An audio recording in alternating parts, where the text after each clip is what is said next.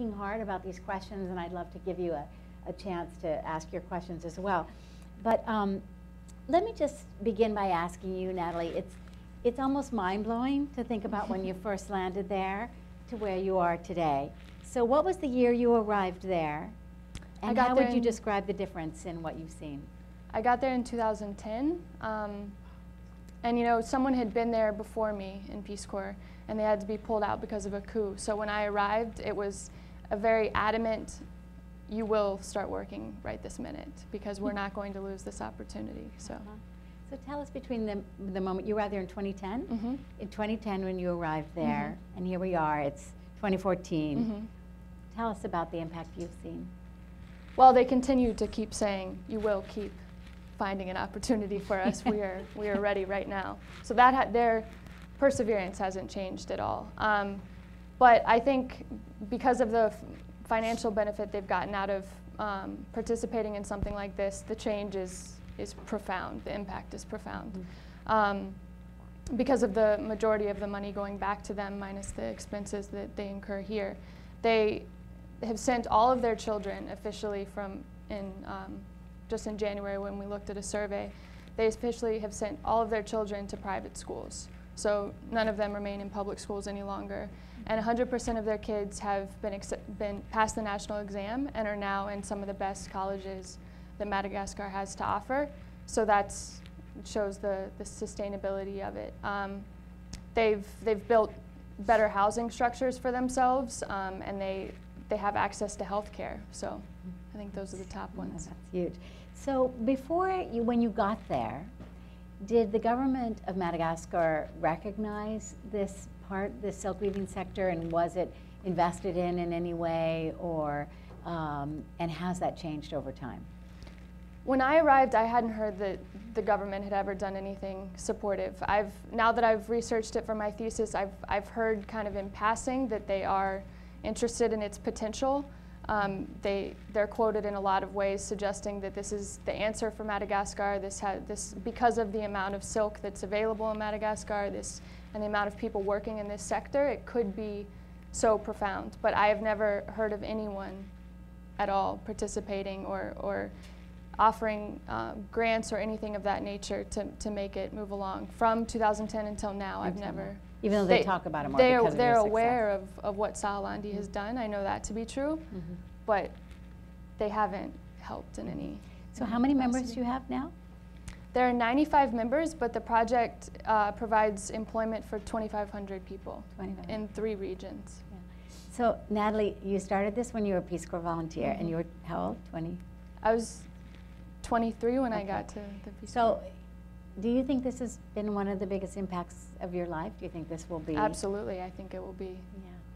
Yeah. will you always be working with them? Do you think? Or yeah, yeah. I don't yeah. think I can escape it. I mean, I, I get text messages about their everyday life, so um, from that until from them. Oh yeah, uh -huh. yeah. Um, okay. As far as their everyday life to you know what the the latest news about the organization. Mm -hmm. um, ideas that they have for the future. So I don't think any of it's going going anywhere yeah, too fast. Right. No, that's great. We can yeah. see it in your eyes. So Shari, let me turn to you for a minute. Um, I think, as I mentioned before, at the risk of of uh, emphasizing Shari's and my age, you know, 30 years ago, we were involved in the very, very beginning of work on employment and livelihood development, and um, and most people didn't think that you could do business development at the bottom of the period and pyramid and with the poorest people in the world. And Shari's been working on that battle for her for her whole, her life. We've worked together on this area. So I want to ask you, Shari, now you run this major uh, foundation that is supporting very grassroots businesses in some of the poorest communities in the world. And I really want to know from your perspective, um, because I know you care about this a lot personally, but one of the biggest challenges the artisan sector faces is that people, for some reason, don't think it's real economic development. They don't think of it as a real driver of economic development, of revenue, of economic development, of jobs, or anything. And so this is one of our business biggest challenges. Um, what do you think about why that is the case? And why, when we look at a case like this and we see not only the employment and the income benefits, but the economic, and, but the savings and the health benefits and the educational benefits, why do you think it is that the artisan sector has a hard time explaining itself? Um, You know, it, it's it's interesting because um, you know Peggy and I were were discussing, you know, this this whole challenge of really helping to reframe how people think about trade and they think about economic development. And I think that part of the challenge um, is that most people look at the United States and they look at what a job looks like here and they look at what the formal economy looks like and they make this sort of vast assumption that either one is desolate and totally poor and unable to feed yourself or you have the kind of economy that we have here in the United States. And in fact, as we see, you know, such economic growth in Africa and, you know, in many parts of the world, you're seeing multiple phases of economic development occurring all at the same time. So that it's not an either or. Um, in fact, one of my, the biggest thing that I deal with a lot is people keep talking about jobs. We need mm-hmm. trade so we can have SMEs because they create jobs. And, and that's true.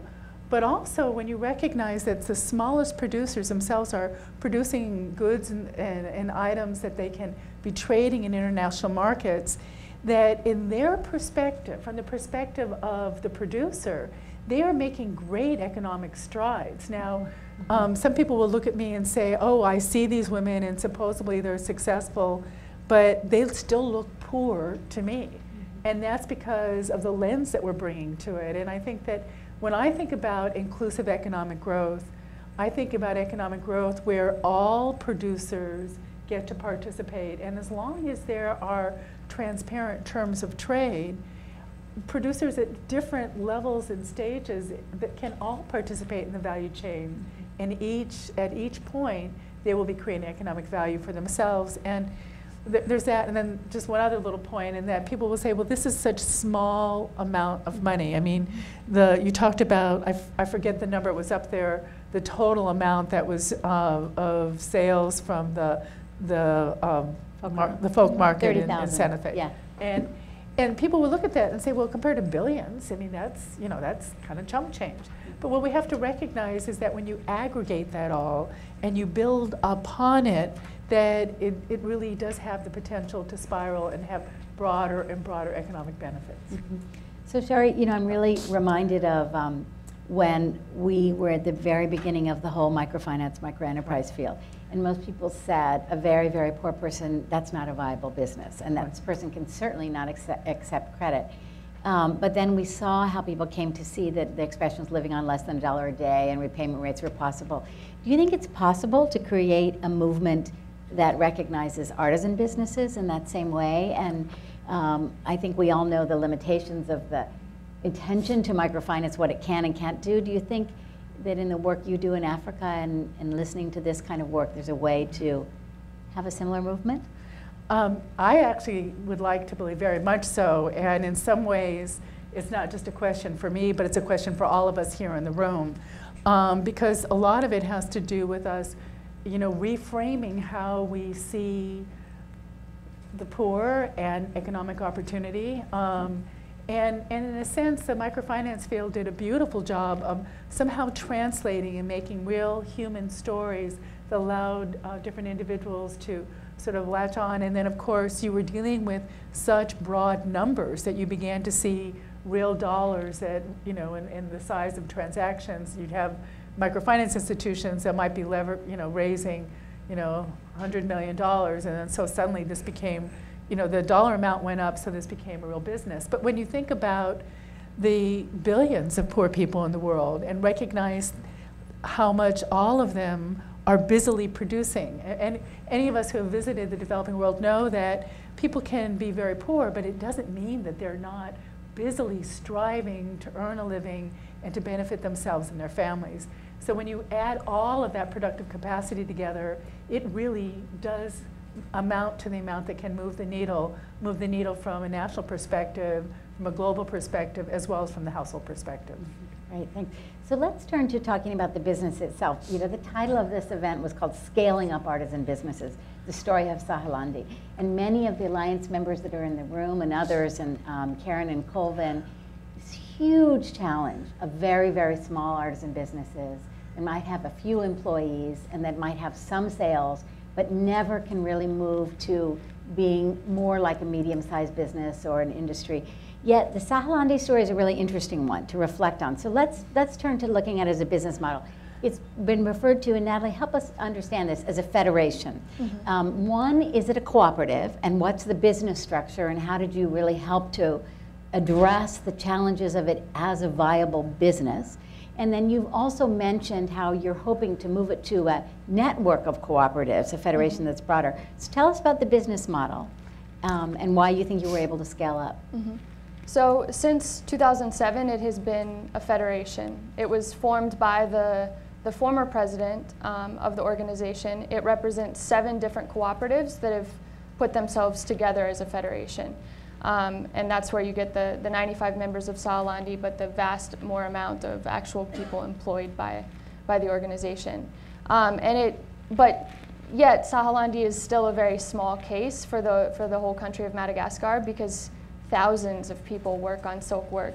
Um, it's, silk is known, raw silk is known to be the cultural identity of the country. So there are far more people to talk about um, than Sahalandy working in this, in this arena, but yet there's little to no opportunity for them at all. I think uh, is probably one of maybe three organizations that has actually ever sold their work abroad, and I think honestly the other two might have been from a suitcase, um, and ours were from an actual export after the suitcase happened. Um, but it, you know, it's, it, it wasn't hard to convince them that they had something to scale up, because when you have sales like that in two days, it doesn't take much convincing. So they, it really just required a lot of on-the-ground leadership, which is what we were talking about before, for them to, to say, I'm, you know, I'm just sitting in the back seat saying, what do you guys want to do about this? And they're like, we have to keep going, and we should connect more with other cooperatives in the area that also want to do this. And, you know, they should be the ones owning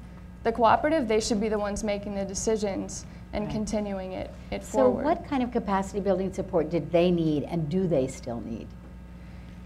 That's yeah, that's a very interesting question. I think honestly, Peace Corps provided at least me and every other Peace Corps volunteer with the means to, to implement a lot of that. A lot of it was financial management. Um, costing and pricing was an anom- anomaly, complete anomaly for them. Um, but after earning that much money, they needed to know how to save it and how much they needed to have for their house, household every month and how much to have for their business. That was a huge, huge part. The various management techni- techniques were very important, um, ways to get people to be more efficient without, you know, sweeping them out altogether.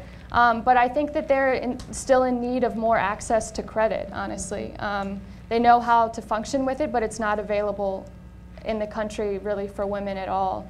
So, uh, more access to grants, um, just more leadership, I think, and, and possibly some gender uh, trainings, just ways for, ways for their households to be able to understand this change because it is quite profound for the husband and wife dynamic to, to be able to say, oh, okay, Yeah. now my wife earns Yeah. far more than I do. Does, uh, does Sahalandy um, offer credit to its members now?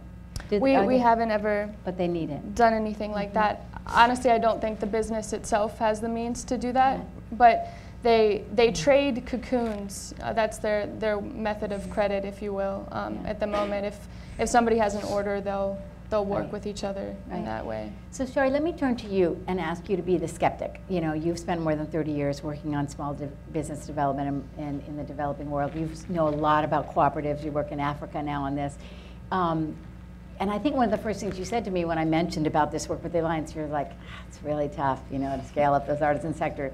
What are your thoughts about um, what the challenges are and what the Sahalandy case teaches us and what you're personally reflecting on in your own work in this way? No. Um, yeah, actually, when Peggy first talked about the alliance, I did immediately jump to all of the challenges. Um, how many websites have there been that have kind of been the next, the, the greatest new thing that was going to connect artisans with markets, and those websites have come and gone?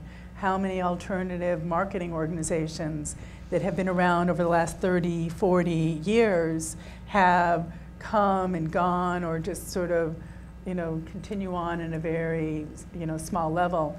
And um, what I think is um, particularly important is it it really can be summed up in, in two words that are not you know terribly specific to crafts, and it's it's the words value chains.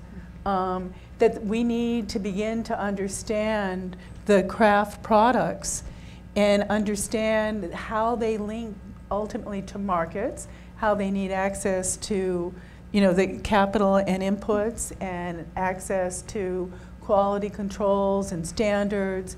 And, and rather than it being driven by, you know, assuming that the craft person knows what the market wants, Mm-hmm. really starting to understand much more broadly how these craft materials can in fact be used and incorporated into wide ranges of products that you know American consumers are interested in buying.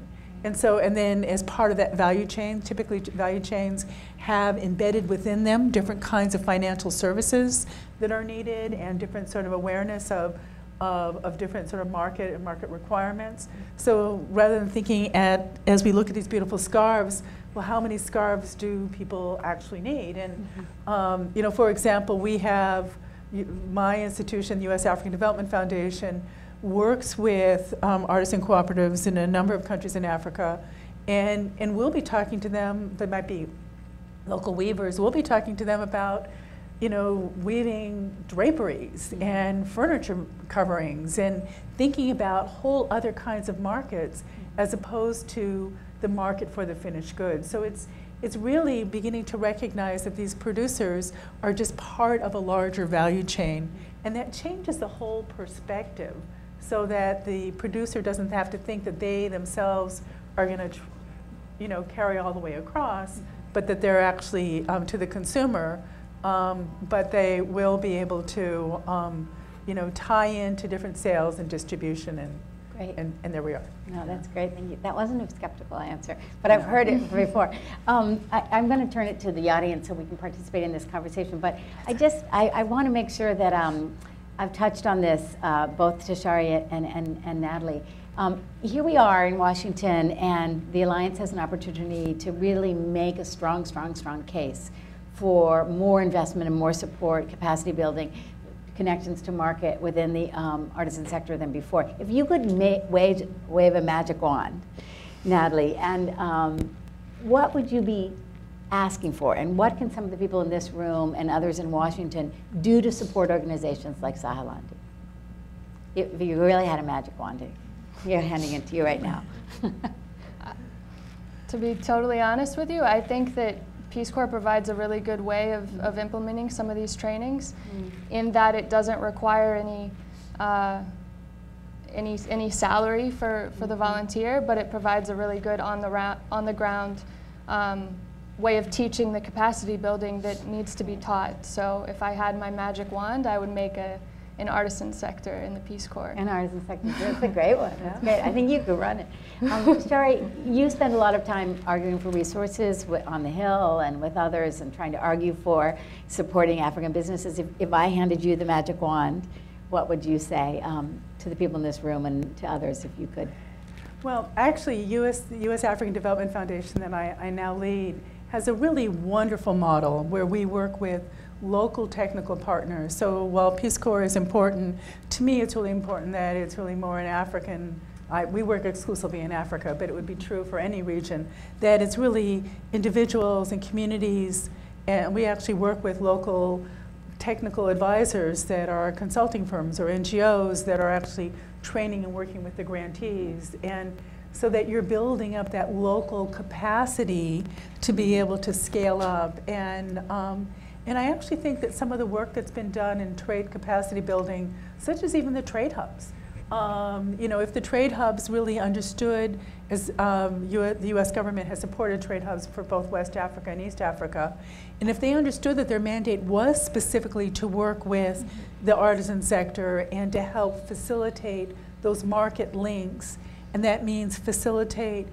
you know, um, Uh, access to brokers and middlemen and you know buyers and department stores. And it's it's really a, a whole market network that needs to be further supported. And of course we need to make sure that the terms of trade are such that the artisans actually earn their fair share of what's taking place. No, Exactly. Um, let me turn to the audience. Let me start. Um, I forgot when I was mentioning the Alliance members are here to recognize that Joan Schifrin of Global Goods is here. She is one of our founding members. So I'm going to turn to you, Joan. Sorry to call you. Um, to Global Goods is one of uh, wonderful artisan support organizations that has been in the business for some time, addressing these very challenges. Would you like to uh, start with our first question for the? I think we have a microphone right here. Thanks, Firdaus. Thank you. Um, really a question about um, sort of outside of, of the business per se, but um, about the sustainability. And I was wondering two things. One about the environmental. It sounds pretty um, um, dire with 90% Yeah. of the there's defor- of deforestation, and and just how you get around that or what's being done at any level, whether it's NGOs or the government. Um, and also about whether um, young women are seeing um, the organization as one that they want to participate in and that they see that as a, a career and a, um, for them. Yeah, great question. Let's take a couple of questions, and then if you guys could, um, are there other? Yes, please. Will you tell us who you are and your organization? Sure. Uh, my name is Jane. I actually founded an organization called To the Market, which uh, sources from organizations employing survivors. Um, oh, thank you. Uh, I had a question. Um, I would love for you, as candidly as you would be willing to be, to talk about how catalytic your role was in scaling the business and how important having essentially a Western market champion is for some of these organizations in sort of reaching specifically a Western market? Awesome questions. Let's let's turn to you guys to respond. Um, do you want to start? Sure, Kelly? I can start with Yeah. Jones. Um, first off, about the deforestation, I do think it's a it's a dire problem, but because of that forest being owned by the government, it really has to be an approach that includes includes them. So um, they need to be more helpful in providing the means to, to fix that problem because it's a nationwide problem. It's certainly not just um, the particular tree that's that is used to make silk uh, that's been deforested, but it's all over. And the, the second question, um, young women being being involved, and yeah, I think that they they absolutely consider this to be their their job. Um, I actually asked them that uh, as part of my thesis um, research when I was there, and they they said that it's a drastic change. They it used to be just occasional work, and now it is something that that they do every single day, and they consider it to be their full time So even employment. graduating from high school or, or whatever comes next, they're not, you you don't see a, a lot of people go, young going for, to the capital to find work there, They're to stay The, the, the people who are involved in it now, their children, because of the, of the opportunity that they've seen, they, they might be going to get their, their degrees or have, have an opportunity like that, but they, they have come back um, to, to be part of the organization. Natalie, maybe you can address the question um, about you personally as, as candidly as possible. Yeah, uh, to be perfectly honest, I think it probably was was quite important that I uh, was a part of it. I think that's why I mentioned the possibility of Peace Corps um, being more involved in these kinds of organizations because they they were hopeless when I when I got there. They really had no their I, I explained it in a way a different time that their I mean their their heads were hung down when I first met them because they didn't really they, they didn't think that they had anything coming to them. They told me to start working, but they weren't, they didn't actually think that it was going to happen. So until I found Santa Fe and had the acceptance letter in front of them, they started to be much more engaged with their work and aware that something could happen. So I think it, it has to be on the ground capacity building, but hopeful, hopefully one that has access to, to the international market. Let me um, turn to Char, but let me first say hello. Um, Tony, I'm glad you're here. Tony Carroll's just joined us from Manchester Trade. Tony's been working on the Africa Growth and Opportunity Act for, for years. Thanks, Tony, for being with us over the years. You missed an amazingly moving film and conversation about a great yeah, business. Um, and I'm glad that you're here, Char. You may talk about AGOA, but let's turn to you. Um, Yeah, I actually am going to play devil's advocate a bit because, um, Please do. and I think the work that you've been doing is absolutely wonderful. So, and I, it's not intended to be in any way to dis, to diminish the personal commitment that you've made and the contribution that you're making. But I also believe that if we want to see something like this be much broader and much more sustainable, that there is a role and and USADF, our, our mandate is, is really to support Africans and African enterprises, African organizations. And so we are looking at African SMEs uh, in some instances that are serving some of the kinds of functions that, that you have done. And because they are a commercial ongoing enterprise, they're doing it over the long haul. They're doing it for 10 years, they're doing it for 20 years. And um, they're bringing a certain kind of commercial discipline and access to finance and a longer term perspective that I think is, is really very, very valuable. Um, so while I think the role of volunteers who come for a few years is, is, is, is very wonderful, and I think you're certainly a very special individual who's made a great co- uh, commitment. So it's more than just a couple of years as a Peace Corps volunteer. Um, but we find that often Peace Corps volunteers might start something but in the long run, it does become important that the local population really embrace it and take a bit more of a hard nosed approach about how do we grow this as a business and what really do we need. And once again, uh, a much uh, more multifa- multifaceted notion of the kinds of products, the kinds of markets, Mhm. and, and, and so sort of building on what you've been Mhm. doing and seeing how far it can go. Mhm. And um, there's a question right here. Please tell us your name and your organization. Um, I'm Megan McDonald. I manage Sasa Designs by the Deaf, and it's it's more of comments, I guess, and questions. But I just um, I sort of want to share that I think it is significant the participation of um, a Western influence from a sales and marketing standpoint. I did my graduate research on how to eliminate the middleman and went in wanting to eliminate the middleman Yeah. and found it, it was absolutely impossible to do that and totally counterproductive. Um, but our model, I spent two years working on the ground with our artisans, building capacity, and now our workshop is fully managed by our Kenyan staff. Um, and we only have one hearing staff person, um, so it's it's all of our deaf artisans who are managing themselves, managing production. Um, so the long-term goal is certainly to be locally run and organized, but the we do 90% of our sales in the U.S. We're doing far more sales than we thought in Kenya, and we we happen to be in an area where we have a growing middle class um, and a huge international presence, so we have that option.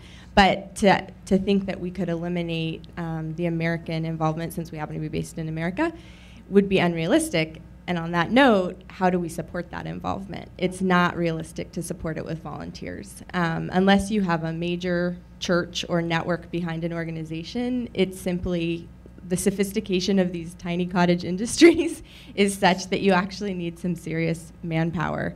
And that has been one of the biggest challenges. It's taken us two Yeah. years to get where we are. We produce over a thousand pieces a month. We've got 50 to 70 wholesale partners at any given time. Um, but we have to sustain both our Kenyan and our U.S. staff. And I, one thing I just wanted to put out in the room, um, we're a nonprofit. A lot of the money available right now is for for-profits, and that's something for people to think about how to balance the funding and and who it's available to and the structure because we're ineligible for a lot, even though we're running on sustainable business practices. Um, something to think about. No, that's great, and congratulations on your work. Um, let me just, because I know that Shari has to run to Dallas to get on a plane to Africa. Tony, would you just stand up for one minute? I want to take this opportunity. Sorry, it's only because I know you that I know you're not going to be mad at me for doing this. Um, just as relates to the question of AGOA, uh, African Growth and Opportunity Act, and artisan business sector, particularly because we had a pre-meeting with Shari's organization and the State Department around whether AGOA can be made to support businesses like Sahalandy and others. Do you want to comment at all on the hopes for AGOA moving Well, here I'll, into the? I'll mention three things. Um, firstly, AGOA, as we all know, has to be renewed uh, in this or certainly at the last moment, the next Congress. Uh, otherwise, the benefits of AGOA will expire. USTR Michael Froman uh, has made a very ambitious statement about his hopes for AGOA renewal that will be ambitious beyond just market preferences, to include a whole suite, if you would, of market support uh, uh, interventions and mechanisms that could include financing and institutional support, as we've discussed. I know Shari's been in, involved in this debate. Um, so I would urge all of you to, to you know, try to get involved and engaged with members of Congress, State Department officials, USTR, and whomever, to try to get some momentum behind AGOA, because as you know, in Congress right now, there's not a lot of ambition for almost anything. And uh, unfortunately, we get sort of caught in that vice, because there's very little opposition to a AGOA renewal. It's just getting legislative space from leadership to get on the calendar. Item number two is um, Madagascar was especially hurt by the removal of uh, Madagascar from AGOA preferences. Uh, This was because there was a uh, decision, as you know, AGOA requires a certain amount of, of, of uh, conformance with standards under AGOA. Because there was a, a government, a change of government and an extra constitutional change of government, Madagascar was taken off AGOA preferences. Unfortunately, that immediately put 30,000 women out of work. Um, As an investor and as a business person, I don't want to have my investment governed by people in the State Department determining on a year-to-year basis what the political currency of the day is. So I think there should be a permanence to these investments. And then lastly, I think there's a great opportunity for the leadership, Af- U.S. Africa Leadership Summit, which is coming in August here in D.C., to showcase not only blue jeans and khakis, but really creative African designs. And I'm hoping that in the course of that three-day summit of 50 Africa leaders, we'll be able to find space in that program to showcase this type of product, Right. along with many of the other great fashion items. Because I don't think Africa should be caught in a race to the bottom with Bangladesh and Cambodia and who can produce the cheapest amount, uh, cheapest 432s, which are standard commodity clothing. They really need to be launched into what is the creative space that Africa can compete above and beyond anybody else, anywhere else. Right. So this is an example of Africa's competitiveness in design, and I hope, and, and all of you who have any access to the State Department or the White House on the planning of this agenda, hope that you'll make them know, let's do something that really resonates with African fashion. And the First Lady, of course, would be perfect in that spot because she's already been committed and interested in African design. Right. Sorry for taking up all that it's space. perfect. No, okay. Um, I want to uh, bring the panel to a close and invite Natika Washington of, of the Department of State. But before I leave, I really want to give a round of applause to Shari Nepstensi and Natalie. Um, you know, I think I, I think I speak for everyone, Natalie, to say um, your story is really, really inspirational. I also want to, David, ask you to stand up one more time because that film is so incredibly beautiful. It tells a great story. So thank you so much. And uh, Natika Washington of the State Department will uh, provide us some remarks, and then I think we'll have a detail reception. We will. Great. Thank you. Is this on? You guys hear me? I'm pretty loud anyway. Um, well, first of all, we just want to thank the Aspen Institute for hosting this uh, fabulous panel discussion. Obviously, we want to thank Peggy for being an absolute, uh, absolute great uh, moderator, and Natalie and Shar, and all of you guys for coming to participate in this discussion. We really appreciate it, but more importantly, we really are excited that we're getting the news out about this great um, collaboration made up of you know, governments and, and, and artisan support groups and private sector coming together trying to artisans to try to tackle many of the issues that so many artisans are facing around the world.